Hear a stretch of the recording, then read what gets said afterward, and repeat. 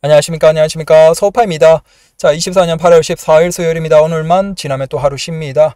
자 버티십시오. 어쩌겠습니까? 다치지 말고 아프지 말고. 네. 자 중국의 로봇 청소기가 지금 어떻습니까? 로봇 청소기 시장에서 압도적인 1위는 중국이죠. 당연히 국내에서조차 점유율에서는 중국이 1위입니다. 그래서 중국의 신제품이 나오면 국내 회사들, 대표적인 전자회사들이 그걸 가져와서 뺏기고 뭐 기술을 카피한다든지 기능을 카피한다든지 뭐 그러고 있죠. 우리가 과거에 일본 모델에 대해서 그렇게 했죠. 네. 그러니까 한국은 사실은 뭐 창의력이 없어요. 창조를 하지 못해요. 그저 앞서 있는 기술을 가져와서 뺏기고 거기에서 네, 빠르게 따라가는 전략을 취하죠. 그리고 그게 넘어서 버렸을 때 우왕좌왕하죠. 스마트폰에도 마찬가지고 가전에도 마찬가지고 가까운 시점에 로봇 청소기도 마찬가지 현상이 그대로 나오고 있죠. 똑같아요. 다이슨이 압도적으로 이제 시장을 지배하니까 그제서야 다이슨을 따라하고 거기서 이제 조금 더 개선된 뭔가 즉 우리가 시장을 창조하거나 이렇게 나아가는 방향 설정 이런 거 전혀 못하고 다만 이제 우리가 학교에서 했던 것처럼 단순 암기, 반복, 뺏기기 자 이런 걸 잘한다. 물론 그것도 이제 영향이지 않냐라고 하겠지만 그게 어디에서도 지금 벌어질 직전이냐 바로 주행 연장형 전기차입니다. EREP 그런데 야 그게 뭐야 그게 뭐야 열심히 선동하던 그 분들이 아마 이제 댓글을 다는 분들은 한국의 이제 여론 마사지 팀이나 그런 분들이겠죠 기업의. 음, 그분들이 앵무스처럼 하는 얘기가 그거예요. 중국의 그거 기름통이 큰 거 아니냐? 아니요 기름통 큰 거 아니에요. 네 기름통이 뭐 걔들이 보통 60몇 리터고 국내에서 일반적인 가솔린 자동차가 50몇 리터예요. 그럼 기동 기름통이 별 차이 없거든요. 네. 인정하고 싶지 않은 거죠. 그리고 국내 국내 소비자들이 중국이 이제 시장을 지배하고 압도적으로 나아간다라는 걸 인정하고 싶지 않은 거죠. 뭐 중국에서 퇴출 수준으로 판매량이 붕괴를 했으면 인정할 때도 됐는데 뭐 어쩌겠습니까? 우리가 마치 그것과 똑같겠죠. 중국 아 일본이 한국의 전자제품들이 이제 90년대 2000년대 막 따라잡고 추격하는 그 과정에서 인정하고 싶지 않았겠죠. 근데 그 흐름상으로는 어쩔 수 없다라는 겁니다. 그게 지금 한국에서 똑같이 벌어지고 있는데 특히 우리가 무시했던 중국이 우리를 넘어서고 이제 기술 시장을 선도한다라는 것을 인정하고 싶지 않은 거죠.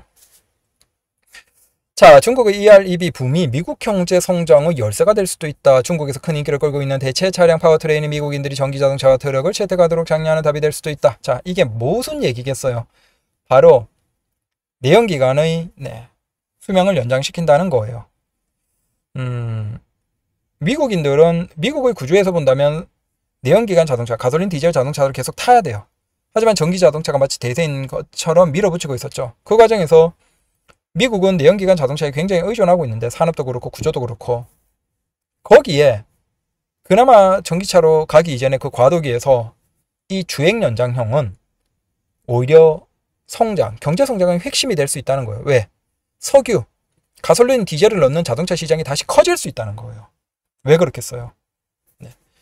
네. 그 전기차의 어느 정도를 가져왔으면서도 내연기관 연료를 기반으로 돌아가기 때문에 미국도 그건 구조상으로는 맞죠. 그래서 국내 회사도 중국 시장에서는 의미가 없어요. 하지만 미국 시장에서 오히려 이게 네, 다시 큰 흐름으로 대세가 될 수도 있다라는 그걸 생각하고 이제 몇십 년 정도의 연구진을 일단 시작을 한 것 같아요. 이미 미국 중국에서는 2,000km 이상 넘어가는 자동차 주행 연장력이 나오고 있는 시점에 이제 우리는 몇십 년 정도의 연구 개발진을 갖추고 있다. 우리는 미래를 보는 그게 없어. 죄송하지만. 중국 EREV의 인기는 하늘을 찌르고 있다. 주된 이유는 EV 주행거리 불안이지만 그 외에도 다른 이유가 있다. 중국의 어, EREV는 최첨단 기계. 그래서 주행거리가 기본적으로 길다. 그 다음 대용량 배터리. 그 다음 연료 탱크. 최대 84리터. 여기에서 84리터는 네, 아주 소수의 차. 일반적인 BYD나 일반적인 자동차 회사들은 60리터대입니다. 그 다음 고속 충전이 되기 때문에 전기차와 충전 속도는 거의 유사하다. 마찬가지로 엔진도 굉장히 고효율, 고효율. 그래서 중국의 주행 연장량은 사실은 음, 내연기관에서 전기차로 넘어가는 그 과도기에서 문제를 거의 해결해버린 혁신적인 자동차다라는 것이죠. 자, ER2위는 서양 OEM이 놓칠 위험이 있는 차세대 중국 트렌드일까요? 그렇죠. 글로벌 자동차 메이커들이 중요한 걸 놓치고 있었죠.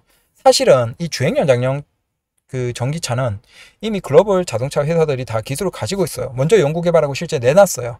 하지만 그들은 이걸 과도기라고 생각하고 사장시키고 플러그인이나 아니면 일반 전기차로 집중을 했어요. 즉, 주행 연장형 자동차의 모델은 이미 예전에 나왔어요. 근데 거기에서 왜 문제가 있었냐? 가장 중요한 게 있죠. 결국은 배터리 가격을 낮춰야 되는데 배터리 가격을 낮추는 데 있어서 자동차 회사들은 역할을 못해요. 배터리 회사에 의존해야 되는데 배터리 회사 입장에서는 굳이 싼 가격에 좋은 배터리를 공급할 이유가 없어요. 아니 어차피 제대로 된 걸 공급할 수 있는 회사가 전 세계로 본다면 파라소닉, 그 다음에 LG, 삼성, 그 다음에 SK 이 정도죠. 주력으로 본다면 그 외에도 있긴 하지만 소수고 결국은 파라소닉, LG, 삼성, SK 입장에서는 싸고 좋고 그런 배터리를 공급할 이유가 없어요. 왜? 어차피 비싸도 살 수밖에 없거든. 당연히 배터리 가격이 낮아지지 않는 상태에서 주행 연장용이 만들어낼 수가 없는 거예요. 결국은 시장에서 잠깐 성, 구조상으로는 나왔어요. 야, 이거 기름도 넣고 배터리도 크게 하면 굉장히 멀리 가지 않냐라고 해서 이미 글로벌 메이커들이 다 그런 기술은 가지고 있어요. 문제는 현실적이지 않기 때문에 사장됐어요. 마치 1900년대 초반에 이미 전기차가 나왔던 것과 똑같아요. 사장이 됐죠. 그리고 그걸 중국은 살려낸 거예요. 왜? 배터리도 그러면 싸게 공급하면 되지 않냐라는 이해관계가 맞은 거죠. 자, EREV는 ICE 대부분의 중국 EREV 경우 1.5L 엔진 차량 자체의 동력을 공급하지 않지만 배터리를 보충하는 데 사용하는 일종의 경량 하이브리드다. 따라서 대부분의 경우 배터리만으로 150에서 300km를 주행할 수 있는 정도에서 전체 주행 거리는 1100에서 1400km. 뭐 가까운 시점에는 이미 2100, 2200까지 지나가고 2500도 넘어가고 있는 정도입니다. 아마 멀지 않아서 누가 먼저 3000km 한 번 완충에 3000km로 가냐라는 얘기가 나오겠죠. 3000km면 얼마나 그게 대단하냐면 우리가 일반적인 도시 자동차 를 운행하는 사람들의 평균 주행거리가 약 한 달에 3,000km입니다. 즉, 전기 한번 충전하고 기름 한번 만 땅으로 넣으면 한 달 동안 그냥 탈 수 있다는 거죠. 그건 오히려 전기차보다도 혁신적이고 일반 내연기관은 따라오지 못하는 극단적인 효율이죠. 근데 지금 중국이 2200km, 2300km 정도까지 BYD가 실제 주행 가는 거리에서 나왔어요. 즉, 지금 흐름으로 본다면 내년 하반기 내년 중반 정도는 어렵고 내년 하반기에서 후내년 초반 정도가 되면 거의 한 번 완충에 3,000km까지 가게 될 것이다. 근데 이걸 누가 미칠까? 자, 중국의 주행 연장형 자동차에 대한 컨텐츠에서 누가 미치냐면 중국인들 아니요. 물론 중국도 대국이고 이제 국가가 크기 때문에 사실 주행 연장형이 맞아요. 근데 거기에 더 미치는 사람들이 누구예요? 바로 미국이에요. 미국인들은 자동차가 기본이고 그 자동차로 주행 평균 주행 거리도 전 세계에서 가장 길어요. 그럼 미국 입장에서는 한번 기름이나 충전 하, 완료하고 2천에서 3천 킬로 가는 자동차는 심지어 그걸 2천 2천만 원, 3천만 원에 살 수 있으면 애들이 완전 눈 뒤집히는 거예요. 그래서 중국의 주행 연장형 자동차 기술에 대한 컨텐츠에서 밑에 댓글을 달고 이걸 사고 싶다 미치겠다라고 주로 얘기하는 게 누구냐? 미국, 호주, 이런 자동차가 미국에는 언제 나옵니까? 호주에는 언제 나옵니까? 걔들 입장에서는 그게 개꿀이거든요. 네. 특히 이제 캠핑 가고 오지 가고 좀, 네, 외진 곳 갈 때는 특히 연료가 중요해서 아예 그냥 미국에서 이제 캠핑이나 그런 걸 가는 사람들은 연료를 따로 받아서 차에 싣고 가죠. 근데 여기에서 얘들은 2,000km, 3,000km씩, 2,000km씩 지금 이미 가고 있으니까 이건 걔들 입장에서는 미국 입장에서는 눈 뒤집히는 거예요. 너무나 가지고 싶은 차죠. 자, ER2B에 능숙한 회사들은 중국에서 매우 잘하고 있다. 자, 그리고 이게 중요한 건 결국은 내연기관에서 전기차로 넘어가는 그 과도기에서 뭐가 정답이 될지 몰라요. 즉, 중국의 전기차들이 굉장히 잘하고 있는 건 이걸 한 바구니에 담지 않는다는 거예요. 이 기술도 있고 저 기술도 있고 해서 그걸 다 끌고 가는 거죠. 그 중에서 뭐가 정답이 될지 모르죠. 자, 이게 맞죠. 한때 이제 전기차에 몰빵한 기업들이 지금 전기차 판매량이 주춤하니까 막 애매해지죠. 자, 아이러니하게도 소, 서양의 OEM 글로벌 메이커들은 EREV에 대한 경험이 있지만 대부분 기술에서 물러났다. 그 이유가 배터리의 가격을 낮추지 못하기 때문에 가격 자체를 낮추지 못해요. 이럴 거면 그냥 그나마 현실적인 전기로 주행 가는 거리를 최대한 줄이고 하이브리드 기술에 조금 더 맞는 쪽으로 집중하는 플러그인 하이브리드에 집중을 해버린 거예요. 그러다 보니까 글로벌 메이커가 하는 현실적인 플러그인 하이브리드는 주행 거리가 짧죠. 반대로 네 중국이 하는 건 주행 거리가 길고 자, 판매는 계속 중국에서 폭발적으로 증가하고 있다. 최근 실적에서도 오히려 이런 EREV들이 순수하게 마진이 남을 정도로 그 정도까지 올라간 상태예요. 근데 문제는 이걸 할 수 있는 애들이 중국밖에 없다는 거예요. 왜? 중국의 합리적인 가격의 배터리를 기반으로 해서 이게 실현 가능하거든요. 주행 거리 불안을 해결하는 가장 좋은 방법은 ER2B. 그래서 특히 가까운 시점에 가덕기에서는 더더욱 이게 정답이다라고 느껴지죠. ER2B는 중국에서 굉장히 빠르게 성장하고 있다. 잠재적으로 이게 중요한 게 전기차로 가는 과정에서 우리가 지금은 극단적으로 마치 1과 2죠. 1과 0 아니면 온, 오프 마치 이런 선택이에요. 야 전기차냐 아니냐. 근데 거기에서 전기차라는 것은 일반 내연기관 자동차의 소비자 중에서 허들이 높은 거예요. 굉장히 좀 과감하게 높은 도약을 해야 돼요. 뛰어넘어야 되는 것들이 있죠. 그러니까 심리적으로 불안하거나 아니면 현실적으로나 자 그런 게 있어요. 그 과도기의 이 EREV는 분명히 전기 기반이고 하지만 가솔린도 포기하지 않고 마찬가지로 전기차의 주행거리나 전기차의 현실적인 걱정에 대해서 그 걱정도 어느 정도는 낮춰주는 즉 내연기관 소비자들이 한 번에 전기차로 가기에는 좀 부담이 큰데 내연기관 소비자들이 주행 연장량 ER2B로 갔다가 이 정도는 크게 부담이 없다는 거예요. 하이브리드도 이미 많이 타니까.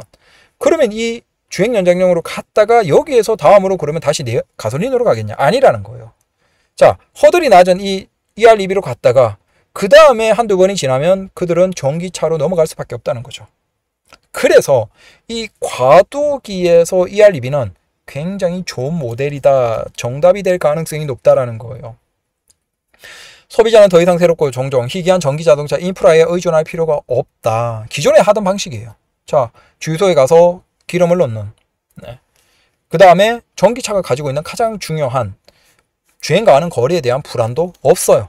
자, 이게 굉장히 중요하죠. 기존처럼 기름을 넣고 하지만 전기차에 대한 주행 거리에 대한 걱정은 없고 하지만 기술적인 부분들은 전기차의 특성을 거, 그대로 가지고 있어요. 왜?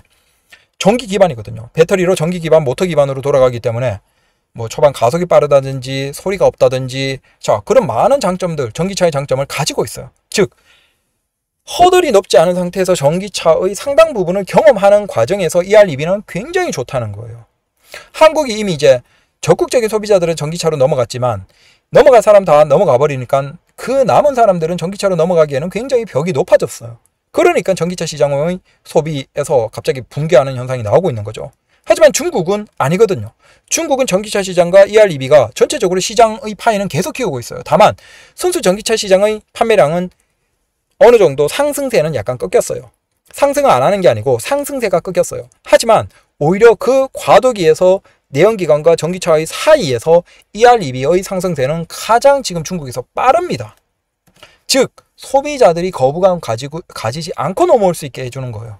저 대표적인 게 봤죠. 우리가 BYD의 뭐 DM 5세대 시리즈 걔들이 가격은 2천만 원대에서 근데 주행 가는 거리는 2,000km, 실주행 가는 거리가 2,000km 사이즈 큰 세단을 구입할 수 있게 됐어요. 이걸 중국 소비자가 어떻게 거부해요? 문제는 다른 세계의 소비자들도 이걸 원한다는 거예요. 그리고 그 이런 모델들이 나와줘야지만 전기차로 자연스럽게 넘어갈 수 있어요. 즉 지금 세계로 본다면 가장 자연스럽게 전기차로 넘어갈 수 있는 시장 구조가 갖춰진 건 중국이라는 거예요. 반대로 내연기관에서 바로 전기차를 강요하는 한국이나 아니면 뭐 일본은 오히려 천천히 가고 있고 현실적으로 가고 있고 그다음 미국이나 유럽 같은 나라 입장에서는 소비자들이 이제 거부감이 드는 거예요. 남아 있는 소비자들은 전기차로 전환해서 거부감이 큰 거죠. 허들이 높은 거예요. 근데 그걸 민다고 미뤄집니까? 그럼 그 가격에 그나마 있어야 되는 플러그인 하이브리드조차도 네, 안 사죠.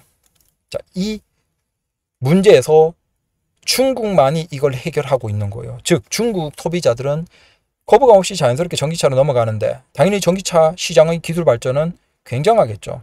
즉 지금 흐름에서 2년, 3년, 5년 지나면 전기차는 전기차 시장에서 가장 기술적으로 우위에 올라가는 건 누구다? 바로 중국이다. 라는 겁니다. 중국도 전기차 시장의 성장률은 낮아졌다. 하지만 이 네, 주행 연장형이 그 사이의 어떻게 보면 성장의 순수 전기차 성장의 하락을 메꾸고 있다라고 보시면 되는 거예요. 그래서 소비자들은 이걸 적극적으로 받아들이고 있다. 왜? 특히 가까운 시점에는 이제 1000km 후반에서 2000km 실주행 가능한 모델들이 나오면서 더더욱 거부감이 없는 거죠. 네. 심지어 그 가격이 2000이야. BYD는. 그럼 그걸 왜 거부해요? 아니, 우리나라에서 여러분들 한 번에 충전하고 2000km 갈 수 있는 한 2천만 원대 차 세단 나오면 어떻게 돼? 사람들 눈 뒤집어서 산다는 거예요. 근데 그걸 내놓으면 되겠어요? 안 되겠어요? 그러니까 국내 자동차나 글로벌 자동차는 굳이 싸게 그렇게 좋은 자동차를 내줄 이유가 없는 거죠. 중국의 소비자는 오히려 합리적으로 네. 2,000km 가면서도 2천만 원대의 자동차를 소비하는데 정작 자동차 기술이 좋다, 우리가 우위다라고 하는 한국이나 일본이나 뭐 미국이나 유럽이나 이런 나라에서는 그렇게 좋은 자동차를 안 줘. 그럼 우리가 이상하잖아. 소비자 입장에서는 빡 도는 거야. 미국의 소비자들도 호주의 소비자들도 유럽의 소비자들도 중국의 EREV 자동차의 소개 컨텐츠에 댓글을 다는 거야. 왜 이 좋은 자동차를 왜 이 합리적인 가격에 응? 왜이 멀리 갈 수 있는 주행거리 긴 이게 오히려 미국이나 호주나 이런 나라에서 꼭 필요한데 왜 이게 미국에서나 호주에서는 살 수 없냐? 도대체 정부는 왜 중국을 오히려 제한을 하면서 하면서 이런 걸 못 사게 하냐? 라는 의문을 가지는 거예요. 근데 그걸 맞죠. 왜? 자동차 기업을 위해서 정책을 하다 보니까 미국이나 한국 같은 입장에서는 어떻게 해야 돼? 소비자들이 비싼 차를 사야 돼. 비싸고 쓰레기 같은 차를 사야 돼. 반면에 거기에서는 중국에서는 싸고 좋은 차를 살 수 있어. 그럼 뭐가 맞아요? 어떤 국가가 잘못된 거예요? 그 순수한 의문을 가지는 거죠. 그래서 이게 지금 상황입니다. 근데 문제는 이게 흐름상으로 보면 너무 어느 순간에 진짜 세상을 뒤집을 수도 있, 겠죠 자, 그게 지금 글로벌 자동차 회사들이 무서우니까 중국을 견제하고 특히 오히려 반대편에서 이제 스스로 사장했던 EREV 기술을 다시 끌어내는 거예요. 그래서 우리가 앞으로 1년, 2년 지나는 과정에서 이 중국의 EREV 자동차가 자동차 시장에서 가장 사람들의 관심을 받는 모습을 보게 될 거예요. 볼 수밖에 없어요. 그리고 가지고 싶겠죠. 그리고 거기에서 우리는 왜 이걸 못 가지느냐에 대한 의문을 가지기 시작하겠죠. 두고 보십시오. 이건 뭐 중국을 빠는 것도 아니고 뭐도 아니에요. 자, 여러분들 선택해봐요. 2천만 원에 2,000km 가는 세단, BYD 거 좋은 거 이미 우리가 많이 봤잖아요. 그거 여러분들 살 수 있어요. 살 거야 안 살 거예요? 어? 살 거잖아. 나도 살 거야. 아니 내구성이 어떻고 그게 뭐 어때? 한 15만 20만 킬로만 타도 뽕을 뽑는데 응? 맞죠? 우리가 이 큰 흐름은 거스를 수가 없어요. 거대한 물결, 이 거대한 중국의 물결, 기술의 흐름은 거스를 수가 없어요. 우리가 자만을 하다가 스스로 꽤 빠진 거죠. 네. 소비자들에게 많은 지갑을 열고 돈을 더 끌어내려고 하다가 스스로 꽤 빠진 거예요. 그리고 이제서야 막 뭐 몇십 명 수준의 연구팀을 만든다. 중국은 이미 2,000km를 가는 자동차를 2천만 원대에 소비자에게 팔고 있는데 이제서야 몇십 명 해서 네, 팀을 만든다. 얼마나 쓰레기 같은 짓입니까? 감사합니다.